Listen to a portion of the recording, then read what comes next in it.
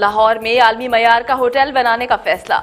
Helipad समेत दीगर सहूलियात से आरास्ता मनसूबा प्राइवेट सेक्टर के इश्तराक से पाया तकमील को पहुंचेगा।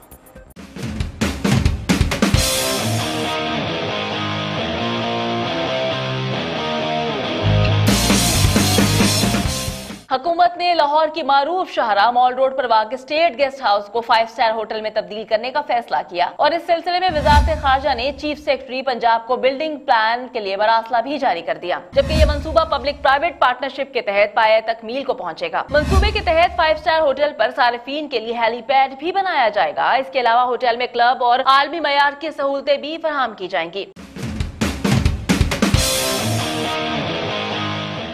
बरासले में चीफ सेक्रेटरी को चवालीस हज़ार मुरबा फीट अराजी पर होटल की तामीर के लिए तीन तजावीज दी गई हैं, जिनके मुताबिक होटल की तामीर मरकजी इमारत से 200 फीट के फासले पर होगी। होटल के बिल्डिंग प्लान की मंजूरी चीफ सेक्रेटरी की सरबराही में कायम स्पेशल कमेटी देगी और मॉल रोड को कमर्शियल कराने के लिए एल डी ए की मंजूरी दरकार होगी। फाइव स्टार होटल तक रसाई के लिए मरकजी गेट मॉल रोड आरोप तामीर किया जाएगा जबकि होटल के साथ साथ स्टेट गेस्ट हाउस की मौजूदा तारीख की इमारत को भी असल हालत में बहाल किया जाएगा। और इस सिलसिले में इमारत की तजीनो आरइश भी की जाएगी।